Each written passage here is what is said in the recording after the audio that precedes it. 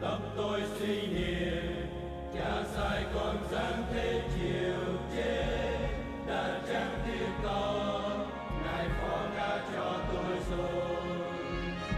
Ôi lớn sâu giàu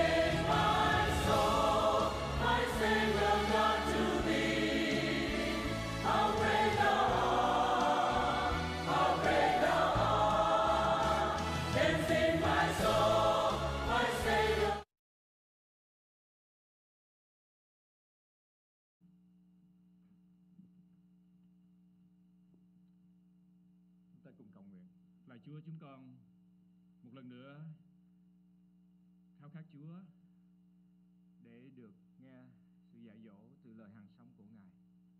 Là Chúa xin nuôi chúng con bằng lời thiên thượng khiến cho tâm linh chúng con được tươi mới. Là Đức Chúa Trời, sự sống trong Chúa vượt trội lên hơn tất cả mọi sự sống trên đất này.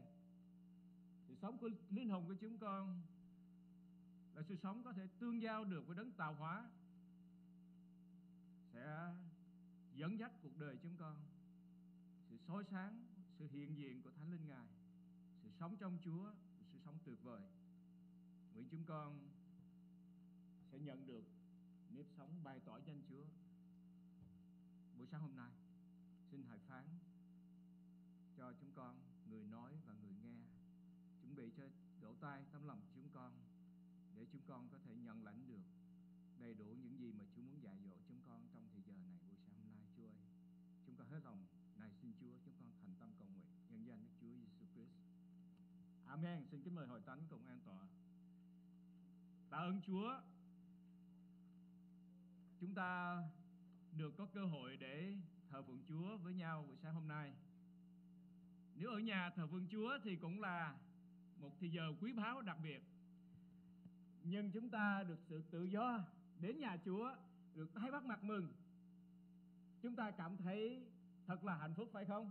Cảm ơn Chúa. Đề tài chúng ta cùng nhau học hỏi và suy gẫm đó là nếp sống bày tỏ danh Chúa. Qua phần kinh thánh mà chúng ta vừa được nghe đọc.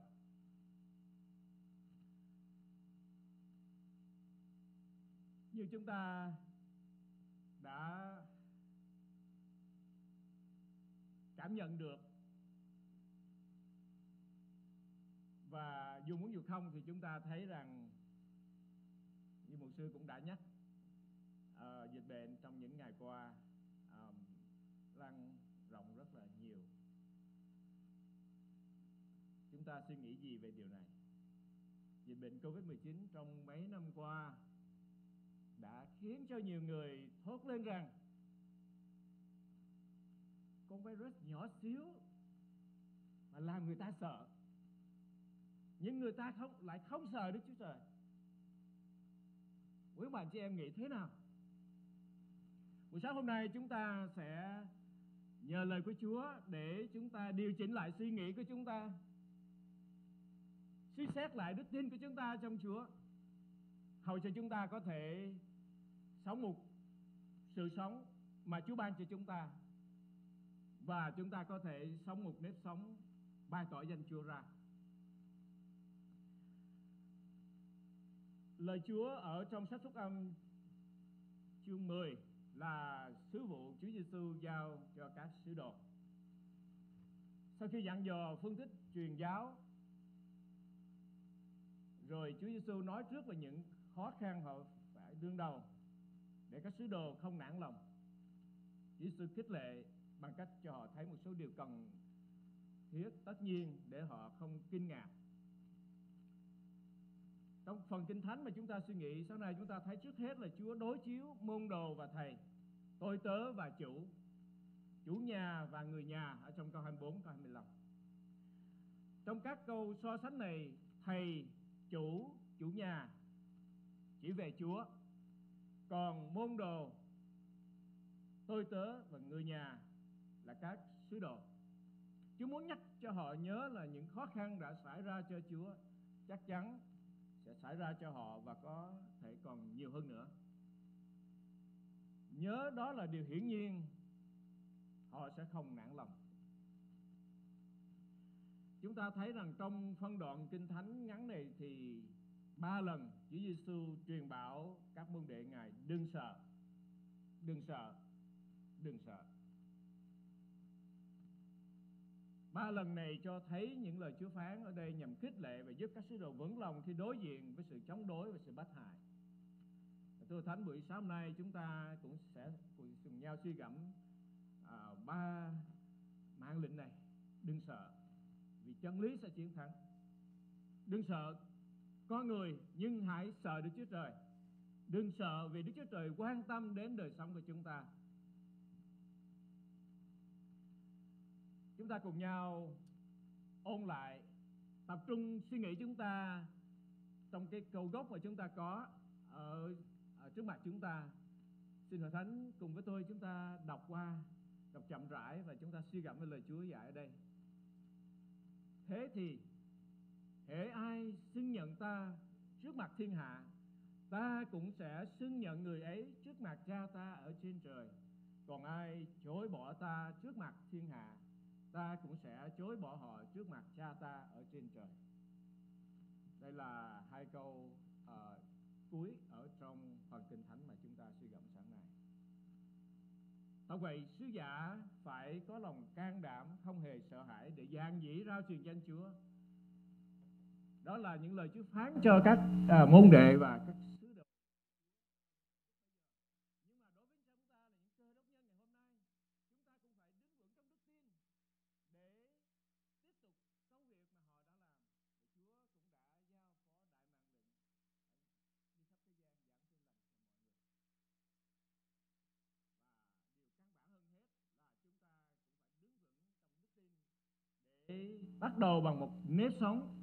vững vàng ra trong Chúa để bày tỏ danh Chúa ra.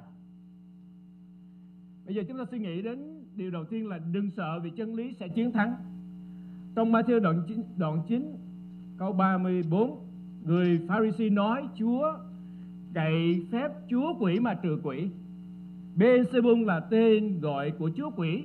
Tên gọi này xuất phát từ chữ Beelzebub ở trong các vua thứ nhì đoạn 1 câu 3 câu 16 cho nên gọi chủ nhà là bên sebung, nghĩa là coi chúa là ma quỷ hay chúa quỷ, tức là satan.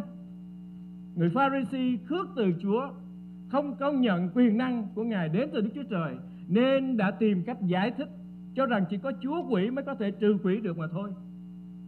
Nói quyền năng của chúa giêsu mà còn bị xuyên tạc, phỉ bán như vậy, thì huống hồ chi là môn đệ hay là người nhà của chúa. Chúng ta nhớ đến điều đó. Mạng lệnh thứ nhất trong câu 26 vậy là Chúa dạy các môn đồ đừng sợ vì chính Chúa cũng bị đối xử giống như vậy. Do đó hãy mạnh dạng, rao giảng. Vậy các con đừng sợ họ vì không có điều gì che giấu mà chẳng bị phơi bày, không có điều gì bí mật mà chẳng bị tiết lộ cho nên những gì ta nói với các con trong bóng tối, hãy nói ra ngoài ánh sáng những gì các con nghe thì thầm bên tai phải công bố trên mái nhà. Những điều Chúa dạy riêng cho các môn đồ nơi kín đáo an toàn. Bây giờ phải được rao giảng cách công khai giữa công chúng. Như thế chắc chắn sẽ gặp hiểm nguy. Những điều Chúa dạy bây giờ cũng đụng đến bản chất xấu xa của con người. Đụng đến truyền thống bại hoại mà con người muốn khư khư nắm giữ. Đụng đến quyền lợi mà người ta đang tranh đấu. Lời dạy của Chúa cũng đảo ngược những quan niệm về giá trị và đạo đức mà người ta đang hãnh diện vì thế, khi lời Chúa được giảng ra, chống đối là điều không thể nào tránh khỏi. Mệnh lệnh này này lấy mệnh lệnh này nói lên sự không sợ về hai phương diện. Thứ nhất là họ không sợ vì chẳng có gì che giấu mà sẽ không lộ ra, chẳng có gì kín đáo mà sẽ không được biết. Ý nghĩa trong câu này là chân lý sẽ chiến thắng.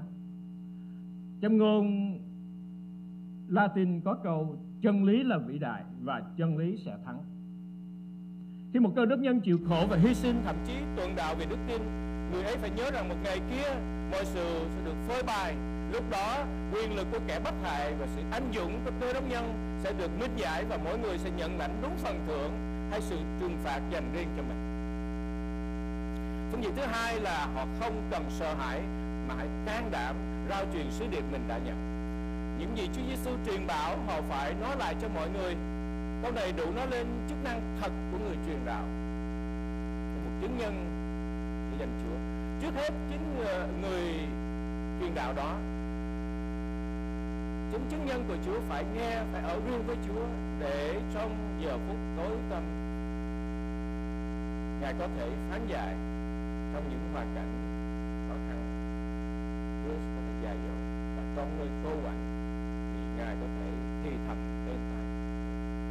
không ai có thể nói về Chúa Giêsu trừ người đã được Ngài nói với. Không ai có thể công bố chân lý trừ phi đã được nghe, vì không ai có thể nói điều mà mình không biết. Thứ hai, người truyền đạo nói điều mình đã nghe chứ có thế và người phải nói điều phải chuốc lấy oán ghét của người đời, thậm chí có thể mất mạng. Người đời không ưa chân lý. Cho nên, thưa quý bạn chị em, đây là điều mà chúng ta xin Chúa giúp đỡ để chúng ta có sự can đảm. Bởi vì mạng lệnh của Chúa luôn luôn đang chờ đợi chúng ta. Chúng ta phải à, vâng theo à, thi hành đại mạng lệnh của Chúa. Cho nên điều này là điều mà chúng ta phải đối diện. Một lần Latimer đang giảng thì có ông vua Henry dự. Ông biết mình sắp nói điều vua không thích. Trên tòa giảng ông nói lớn như nói với chính mình. Ông gọi tên của ông Latimer Latimer cẩn thận điều ngươi nói, có vua Henry đấy. Cái đó ông nghĩ ngừng lại. Rồi ông nói tiếp. Latimer Latimer cẩn thận điều ngươi nói, có vua của các vua đang ở đây. Sứ điệp nói cho loài người nhưng phải nói trong sự hiện diện của Đức Chúa Trời. Chứng nhân cơ đốc là người không biết sợ, vì người biết sự phán xét đời đời sẽ điều chỉnh lại mọi sự phán xét tạm thời. Người truyền đạo và cơ đốc nhân phải là người lắng nghe cách cung kính và nói với lòng can đảm để người biết rằng vô luận người nghe hay người nói đều ở trong sự hiện diện của Đức Chúa Trời. Cho nên thưa quý bạn chị em quý bạn chị em có can đảm, mạnh dạn làm chứng nhân cho Chúa của chúng ta không?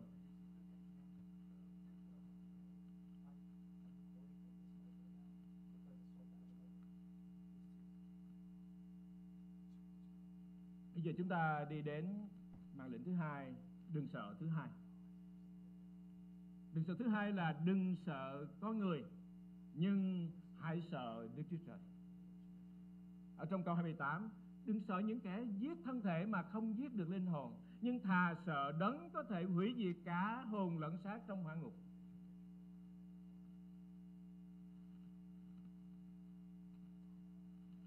Các môn đồ của Chúa có lúc sẽ phải đứng trước mặt các quan tòa là những người có quyền kết án tử hình.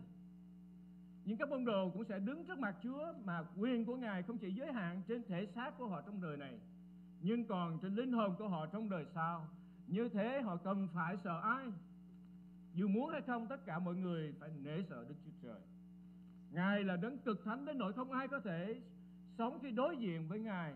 Ở trong cựu ước chúng ta thấy trong sách xuất Ai ký đoạn 33 Môi xe xin Đức Chúa Trời cho ông nhìn xem mặt Ngài nhưng Chúa phán gì?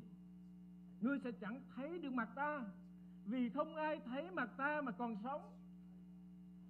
Khi đọc về cơn thành nộ của Đức Chúa Trời đổ xuống thành Sodom và Gomorrah và cơn đại hồng thủy trong thời kỳ Noe được kỹ thuật trong sách sáng thế kỷ. Cơn thịnh nộ sẽ đổ xuống thế giới trong tương lai mà sứ đồ Giăng đã ghi chép trong sách Hải Huyền. Chúng ta có lý do để kính sợ Đức Chúa Trời. Có người phải sợ Đức Chúa Trời. Đức Chúa Giêsu cho biết Đức Chúa Trời là đấng quyết định số phận đời đời của mọi người chúng ta. Cho nên, đừng sợ những kẻ giết thân thể mà không giết được linh hồn thà sợ đấng có thể hủy diệt cả hồn lẫn xác trong phản ngục phải, có người tội lỗi phải sợ Đức Chúa Trời thánh khiết những cái sợ của con cái Đức Chúa Trời là cái sợ của chúng ta đây, đối với Chúa, là sự kính sợ của lòng tôn kính, nể trọng, tôn cao ngài và yêu mến ngài. Khi nhìn cảnh tượng hùng vĩ của dãy núi Rocky Mountains hay là Grand Canyon, chúng ta cảm nhận sự oai nghi vĩ đại của thiên nhiên mà Đức Chúa Trời đã tạo dựng. Thưa quý bạn chị em nhắc đến những cái à, nơi này thật là những điều kỳ diệu. Vì tôi đã từng sống bên Canada mà từ tỉnh bang à, Alberta từ Edmonton mà đi qua Vancouver thì có nghĩa là phải leo cái xe phải leo cao lên leo, leo lên những đỉnh núi đi xuống. Thưa quý ông bà anh chị em thật là tuyệt vời. Những dốc núi thẳng sừng sững như thế này xe có thể chạy một bên dốc núi thật cao. Và bên đây là vực sâu thăm thẳm. Ô những cảnh thiên nhiên đẹp vô cùng. Khi nào mà người ta xây cái nơi để mà à, cái phôi cái view để phôi đó cái chỗ mà chúng ta phải đứng để nhìn quảng cảnh đó đó là những cái nơi đó cái địa hình nó rất là hiểm trở nhưng mà nó vô cùng đẹp đẽ. Và Grand Canyon cũng vậy. Chúng ta ai có cơ hội mà đến Grand Canyon cũng thấy cái sự hùng vĩ sự lạ lùng của thiên nhiên phải không? Những điều này nói lên có một Đức Chúa Trời là đấng đã tạo dựng. Một lần khi tôi nhìn trên màn hình khi mà núi lửa à, uh, volcano nó đang hoạt động thì sứ ngôn viên nói rằng oh how insignificant man is. Thật là không đáng kể gì về con người đối với đứng trước cảnh thiên nhiên hùng vĩ như vậy cũng vậy khi chúng ta nghĩ về Đức Chúa Trời và nhìn xem những việc Ngài làm, chúng ta kinh ngạc, lạ lùng về sự cao cả, vĩ đại, quyền năng của Ngài. Chúng ta kính sợ Đức Chúa Trời vì Ngài là Đức Chúa Trời của các thần Chúa, của các Chúa. Là Đức Chúa Trời rất lớn, có quyền năng và đáng sợ, như đã được nói đến ở trong sách phục, truyền luật lệ ký đoạn 10 câu 17 Kính Kinh Thánh cũng nói ở trong sách châm ngôn đoạn 12 câu 17 ờ, đoạn 12 câu 27 sự kính sợ Đức Giê-hô-va vốn một nguồn sự sống đặng khiến người ta tránh khỏi bảy sự chết trong mạng lệnh thứ hai này, điều Chúa Giêsu nói là không có hình thực, hình phạt nào của con người so sánh được với số phận tối hậu của một người phạm tội bất trung và bất tuân đối với Đức Chúa Trời. Có người có thể giết chết thể xác nhưng Đức Chúa Trời là đấng có quyền hủy diệt cả hồn lẫn xác trong hỏa ngục. Chúng ta nên nhớ rằng sự trừng phạt của loài người chỉ mang lại cái chết tạm thời trên đất này mà thôi. Nhưng sự trừng phạt của Đức Chúa Trời là đời đời và phần thưởng Ngài ban cũng còn lại mãi mãi. Trong thâm tâm có lẽ môn đệ cũng thấy à, sợ quyền lực của thế gian, của Satan nên Chúa phán dặn đừng sợ, đừng sợ, đừng sợ. Nếu phải sợ thì chúng ta sợ đấng làm cho mất linh hồn và đài thân thể chúng ta xuống hỏa ngục. Các lực lượng khác chỉ có khả năng làm hại đến thân thể chứ không làm hại đến linh hồn. Vậy chúng ta đừng sợ chúng. Khi không còn sự sợ hãi vô lý, chúng ta mới giản dĩ rao truyền lời Chúa. Thưa quý ông bà chị em, có lẽ chúng ta nghe và chúng ta hiểu lời Chúa phán như vậy nhưng mà nếu mà đụng với thực tế thì mới biết rằng vàng được thử lửa thì nó sẽ ra như thế nào. Chúng ta có phải là vàng thật của Chúa hay không phải là vàng? Chúng ta có thể đứng vững với Chúa của chúng ta hay chúng ta từ từ Chúa? Tạ ơn Chúa khi bị tòa công luận nghiêm cấm nghiêm cấm không cho rao giảng danh Chúa. Thì công vụ các sứ đồ đoạn 4 có 19 kỹ thuật rằng, nhưng phi và dân trả lời, xin các ông hãy suy xét trước mặt Đức Chúa Trời có nên vâng lời các ông hơn là vâng lời Đức Chúa Trời không? Hơn là vâng lời Đức Chúa Trời chăng? Đây là điều rất là quan trọng, thưa quý bà chị em. Vì vậy chúng ta phải học lời Chúa và nếu mà chúng ta thuộc câu gốc này đây, thì chúng ta sẽ có một vốn liếng rất là quan trọng Chúa Thánh Linh sẽ nhắc nhở chúng ta về câu kinh thánh này đúng lúc bút thì, và chúng ta sẽ nói ra những lời dạng dĩ này bởi sự thúc giục của Thánh Linh và chúng ta sẽ tăng lên sức lực của Chúa và chúng ta cảm thấy thật là vui thỏa vì chúng ta đứng với Chúa. Amen. Tôi quên mặt Chúa muốn chúng ta chuẩn bị đời sống mình. Chúa muốn chúng ta nhận lấy lời của Chúa. Đừng sợ con người, nhưng hãy sợ Đức Chúa Trời. Quý ông bà chị em kính sợ và vấn lời ai? Vâng lời kính sợ Đức Chúa Trời hay là con người? Bây giờ chúng ta đi đến à, mạng lệnh thứ ba là đừng sợ vì Đức Chúa Trời quan tâm đến đời sống chúng ta ở trong câu 31. Vì vậy đừng sợ vì các con quý giá hơn nhiều chim sẻ.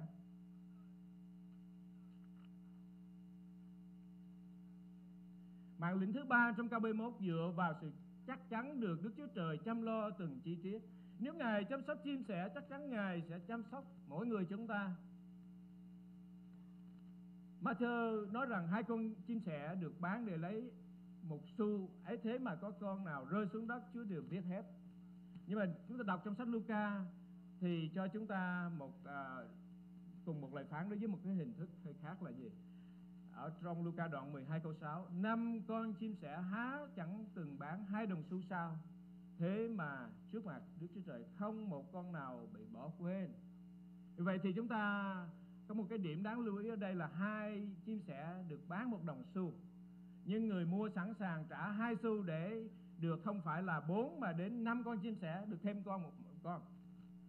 Chim sẻ sẽ được thêm ở trong tình trạng mặc cả thì cũng không có gì giá trị gì cả. Nhưng mà cả đến con chim sẻ thứ năm này đây à, con chim ở trong sự mặc cả này đây Chúa cũng à, chăm sóc đến. Mà đối với chúng ta thì cũng không có đáng giá gì. Nhưng cả đến con chim đó cũng đáng giá trước mặt Chúa. Cho nên thưa quý chị em chúng ta hãy suy nghĩ đến điều này. Bên cạnh những lời cảnh cáo ở trong câu 30 29 đến 31 là những lời khích lệ vì Chúa quan tâm đến từng con chim sẻ đến từng sợi tóc trên đầu, nên chắc chắn Ngài không quên các môn đều môn đều của Ngài. Và chắc chắn Ngài cũng không quên chúng ta. Phải không, sự quên mà chị em? Cho nên, không ai, ao ước rằng mỗi người trong chúng ta không ai nên nghi ngờ về sự chăm sóc của quan phòng của Chúa.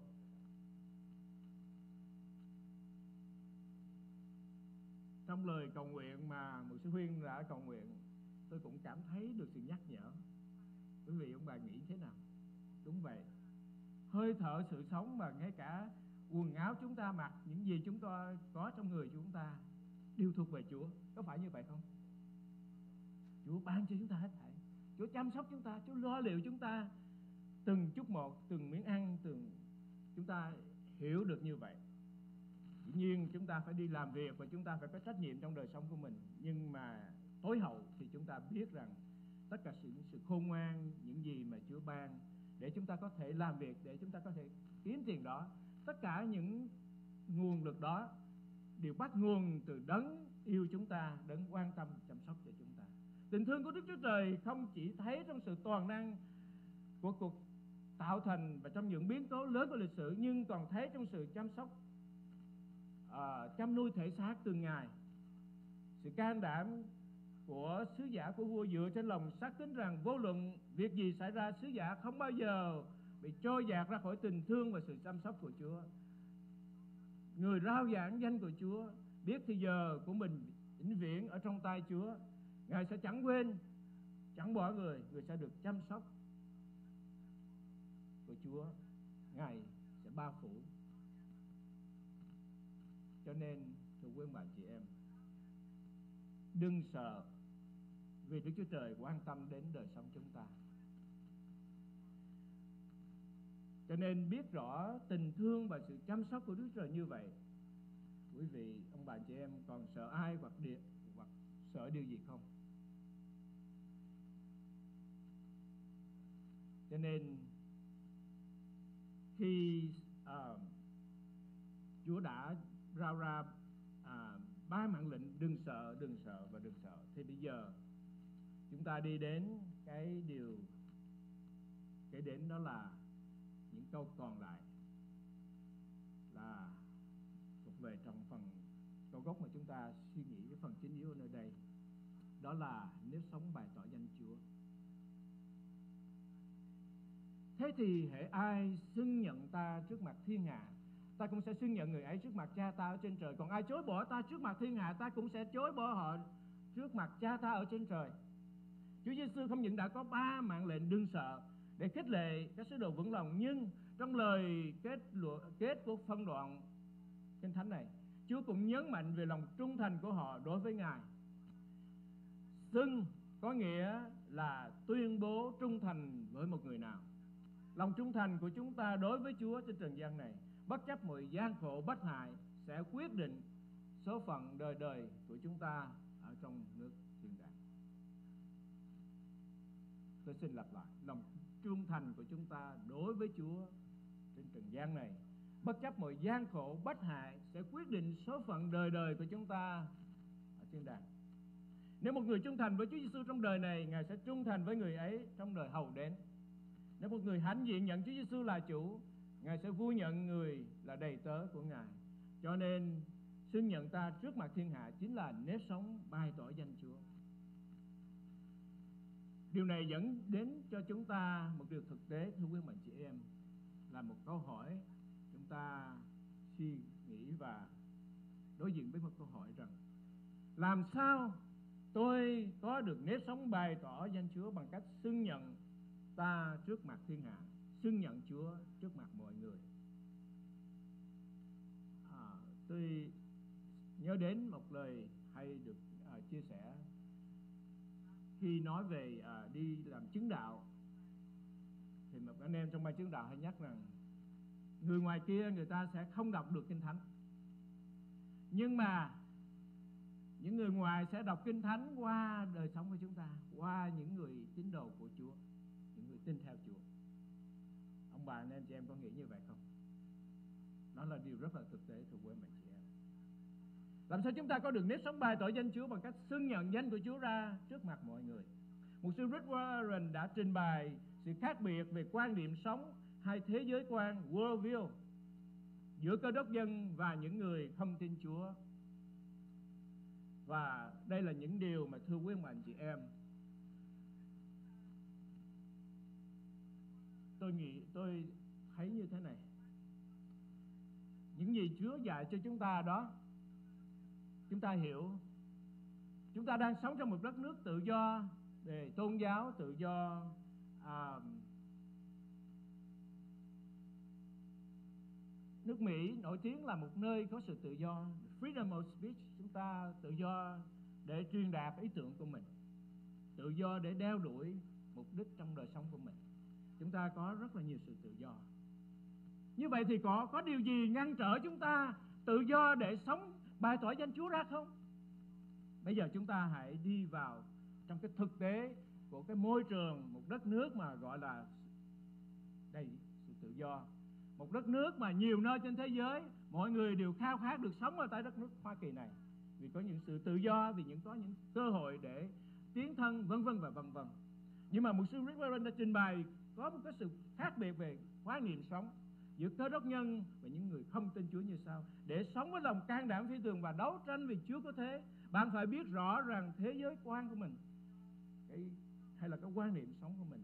Thế giới quan của mình có nghĩa là qua lăng kính, mà qua đó bạn nhìn thấy và hiểu biết về thế giới. Và cũng qua lăng kính mà chúng ta nhìn thấy đó, chúng ta cũng phải biết về những thế giới quan của những người không tin Chúa đang cạnh tranh để có được sự chúa tâm của bạn mỗi ngày. À, nói một cách khác, mỗi ngày chúng ta phải đối diện với nhiều sự quyết định nên làm việc này hay không hay là quyết định làm việc này. Nên vâng theo lời của Chúa dạy hay là nên sửa đổi đôi chút để cho nó thích hợp với hoàn cảnh.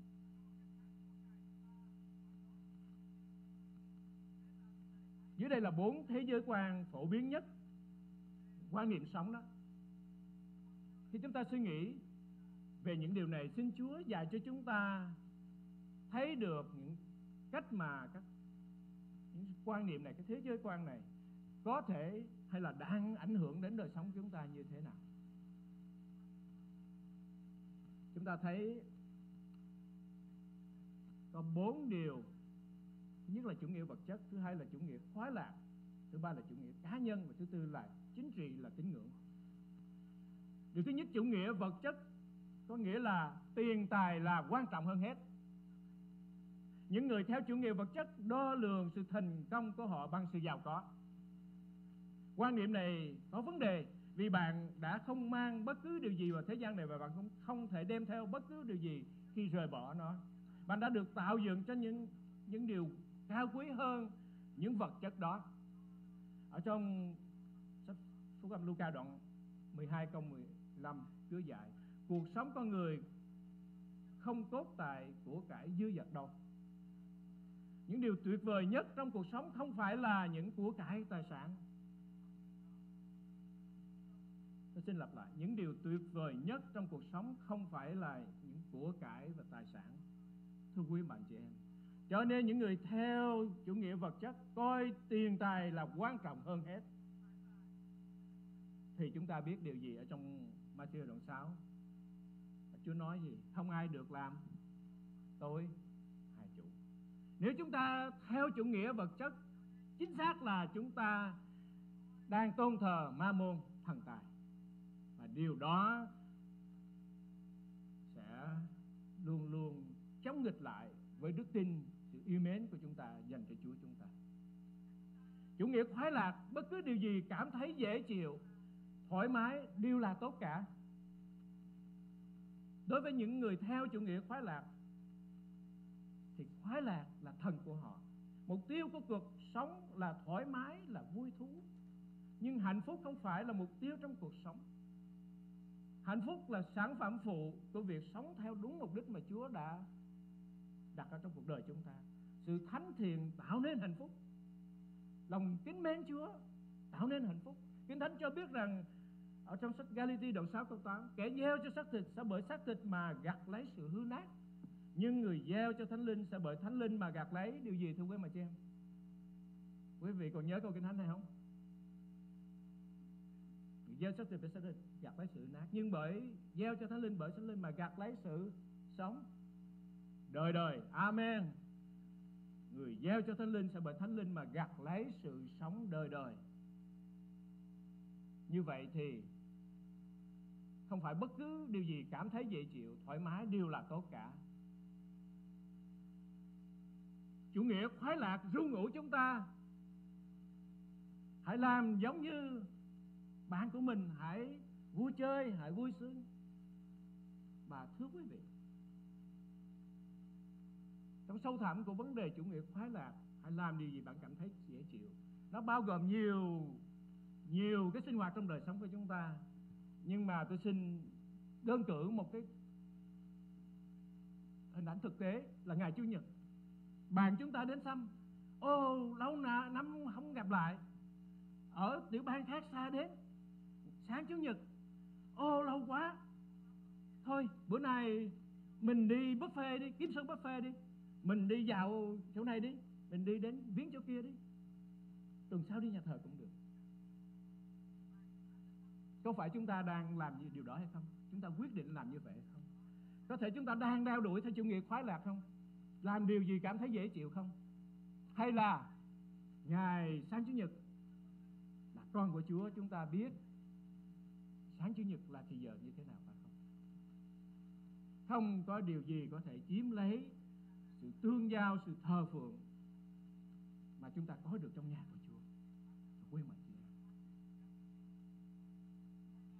có nhiều người để bày tỏ tấm lòng thờ phượng yêu mến Chúa. Chúng ta biết rằng sự thờ phượng của Chúa rất là quý báu. Cho nên chúng ta thấy chủ nghĩa khoái lạc cũng đã ru ngủ chúng ta và cũng làm hạ thấp cái giá trị, cái cái cái tiêu chuẩn đức tin của chúng ta trong Chúa chúng ta. Làm chúng ta buông xuôi, chúng ta khó mà mai chúng ta dung hòa sự suy nghĩ và cái thói quen của chúng ta. Mình Chúa giúp đỡ chúng ta. Chủ nghĩa cá nhân.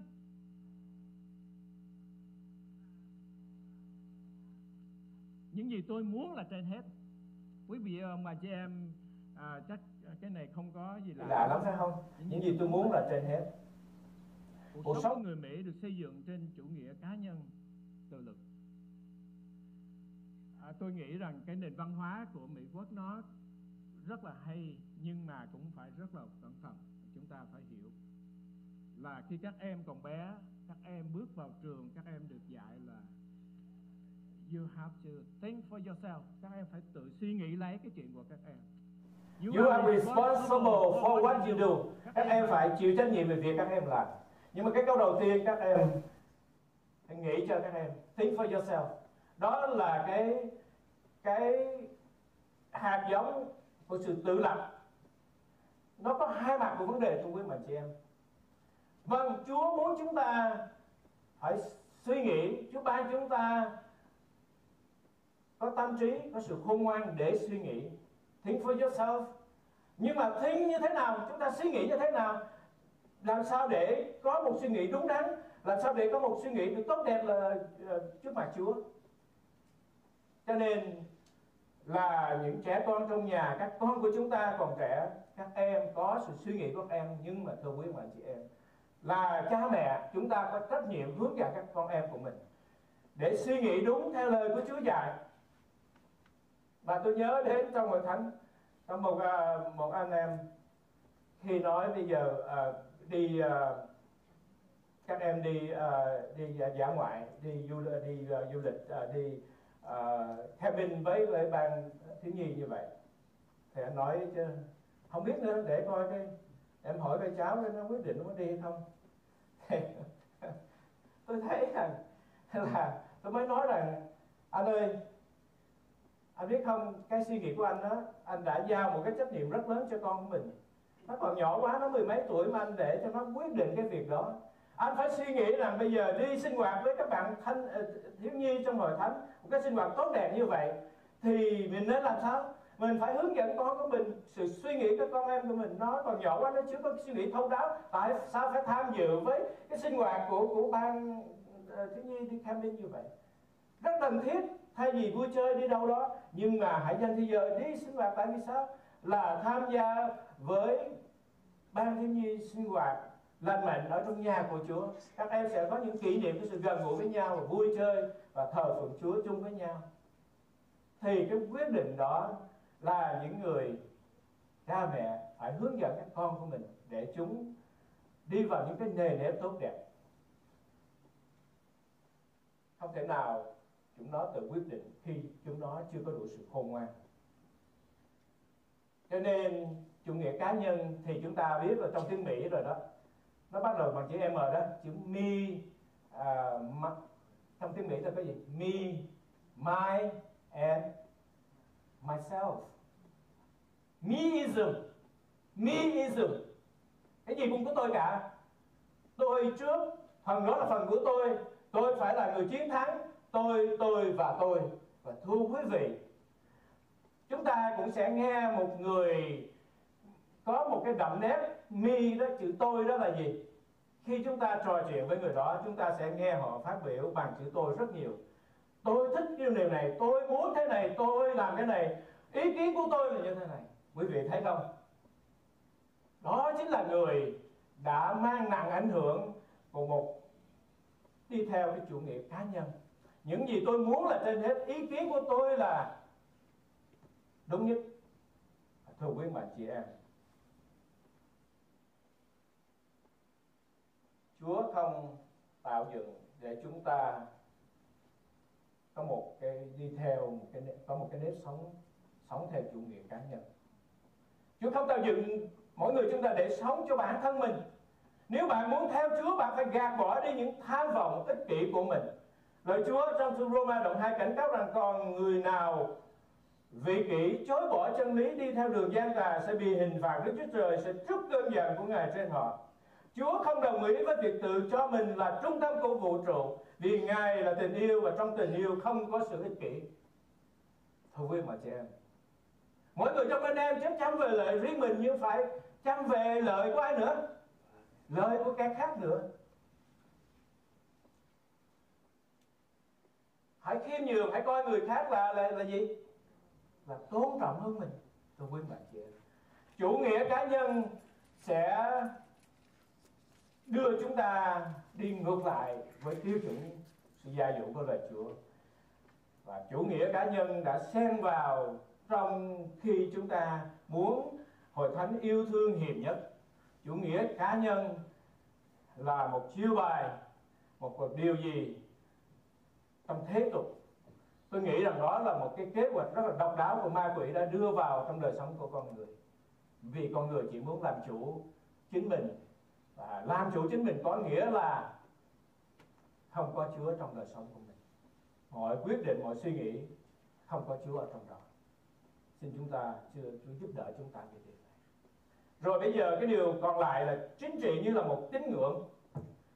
À, một sư Rick Warren nói là tôi đã nói chuyện tại nhiều hội nghị lớn ngoài đời tôi đã khám phá được điều này. Chính trị là tín ngưỡng của những người không biết Chúa. Không gì sai về chính trị cả nhưng nó không nên là cứu Chúa của bạn. Trong thư Philip đoạn 3 câu 20 nói rằng chúng ta là công dân nước trời sốt sắng mong đợi Chúa Cứu Thế Giêsu chúng ta từ trời trở lại. Hãy là một công dân có trách nhiệm nhưng hãy hạ, dành lòng trung thành lớn nhất của bạn cho Chúa chứ không phải cho chính quyền của đời này. Cho nên đây là những điều mà ông viết mà xin chúng ta suy nghĩ cùng lắng nghe ở đây. Hậu quả của những thế giới quan phổ biến này là gì? Hậu quả của chủ nghĩa vật chất, chủ nghĩa khoái lạc, chủ nghĩa chủ nghĩa cá nhân và chính trị như là một tín ngưỡng, thì hậu quả của nó là gì? Đó là sự sụp đổ của một nền văn hóa khủng hoảng trong các trường học, thối nát, đồi bại trong kinh doanh, hỗn độn trong chính quyền sát thịt trần tục trong các hội thánh. Rối loạn trong gia đình và xung đột trong những đời sống cá nhân của chúng ta. Khi bạn không làm theo bản cảm năng của đời sống, bạn sẽ bị tổn thương, hay nói một cách khác đi khi bạn vi phạm luật của Chúa bạn sẽ bị đau khổ thưa quý bà chị em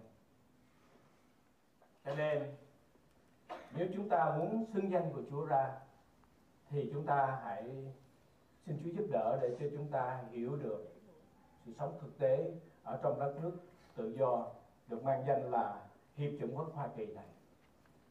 Thưa quý bà chị em, tôi không có phê, không phải là tôi phê phán điều gì khác về đất nước này. Tôi rất là cảm ơn Chúa vì được sống ở nơi đây, được sự tự do để đến mỗi sáng Chủ nhật hầu Chúa uh, tự do đeo đuổi tất cả những đất nước này thật là tốt lành thưa quý mạnh chị em. Nhưng mà trong sự tốt lành của đất nước này thì chúng ta cũng phải hiểu rằng có những cái quan niệm của người đời mà có thể là gặm nhấm vào cuộc đời chúng ta nó làm lung lạc nó làm suy thoái đức tin của chúng ta thì chúng ta phải tỉnh thức chúng ta phải nhận biết những cái mối nguy hiểm đó đang rình rập đang len lấn vào trong cuộc đời của chúng ta thì chúng ta phải xin Chúa giúp đỡ cho chúng ta có sự khôn ngoan để chúng ta biết phân biệt và chúng ta biết sống đẹp bằng Chúa hơn. Amen. Cho nên đối với những cái quan phổ biến này, Chúa đang kêu gọi các đơn nhân, cơ đốc nhân hãy thực hành nếu sống bài tỏ danh Chúa chiến đấu cho lẽ thật của Ngài chống lại quan điểm của thế gian bạn chỉ có thể làm được điều đó khi bạn có một nền tảng vững chắc trên lời của Chúa và sự can đảm phi thường đến từ mối tương giao với Chúa.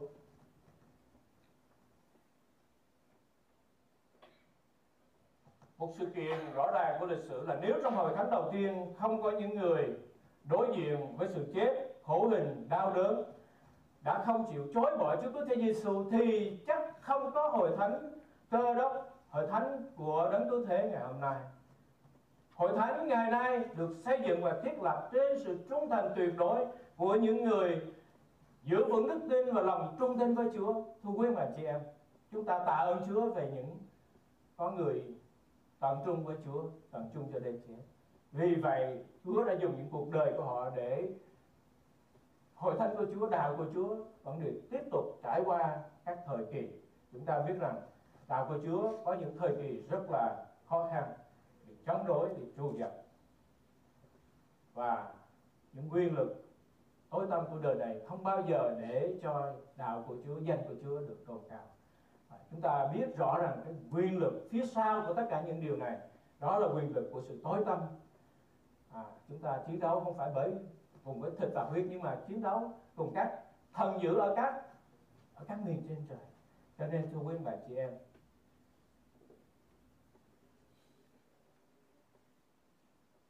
Để chúng ta có thể xưng danh của Chúa trước mặt thiên hạ, thì đây chúng ta hãy nắm lấy lời của Chúa.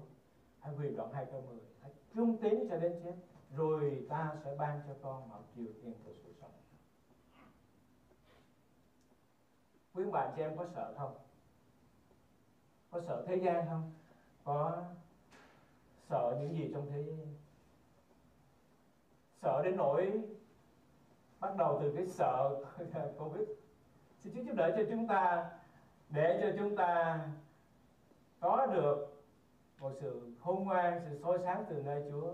Mỗi người chúng ta, mỗi hoàn cảnh, khi đứng trước sự nguy hiểm của dịch bệnh, thì xin Chúa cho chúng ta có sự khôn ngoan của Chúa và trong khi mà chúng ta đối diện với dịch bệnh, đối diện những cái hoàn cảnh xung quanh, nguyện danh Chúa sẽ được tôn cao trong những suy nghĩ, những quyết định của chúng ta. Và đừng sợ, nhưng mà hãy xưng danh của Chúa ra trước mặt thiên hạ, thì Chúa sẽ xưng danh của chúng ta trước mặt cha của Chúa, Đức Chúa Cha trên trời.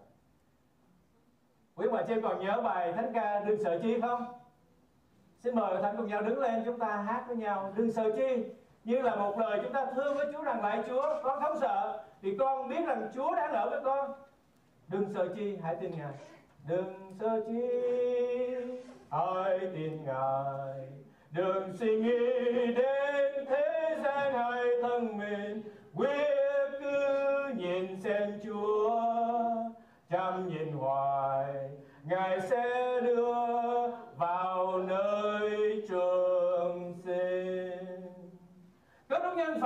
sống bày tỏ danh Chúa vì chân lý của Chúa sẽ chiến thắng Đức Chúa Trời đáng kính sợ và Ngài quan tâm đến đời sống con nhân của Ngài Người trung tín cho đến cuối cùng sẽ được Chúa ban bảo triều thiên của sự sống Lạy Đức Chúa Trời, chúng con cảm ơn Chúa về lời của Ngài. Thật là lời văn ngọc, thật là lời quý báu, thật là lời đúng lúc đúng thì cho đời sống của chúng con.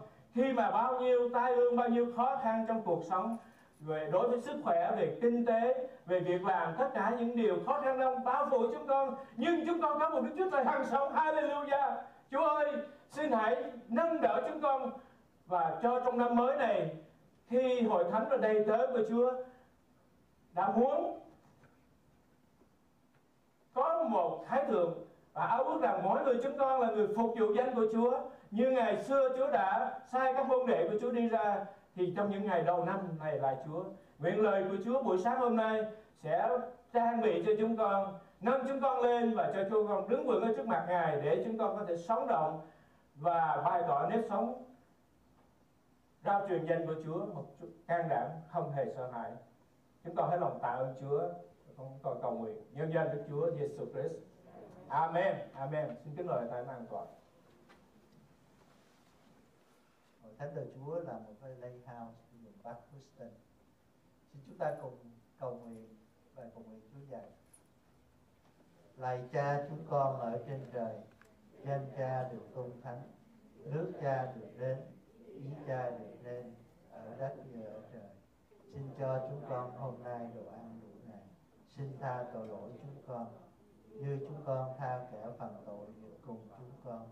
Xin chớ để chúng con bị cám dỗ, song cứu chúng con khỏi điều ác. Vì nước, quyền, vinh hiển thuộc về Cha đời đời vô cùng. Tôn vinh chân thần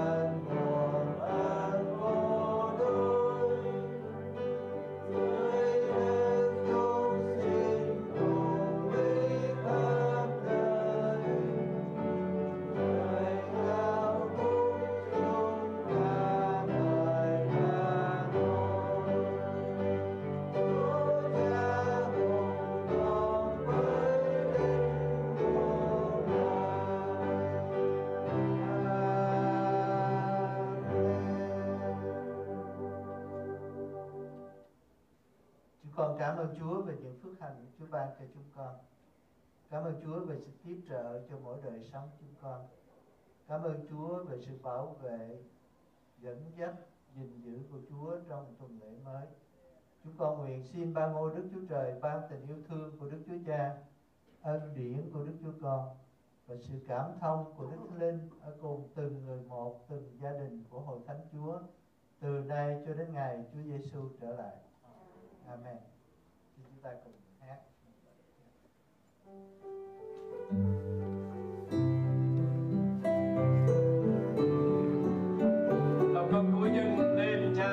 ca xin chúng ta cùng hòa đồng à, chứ một lần nữa.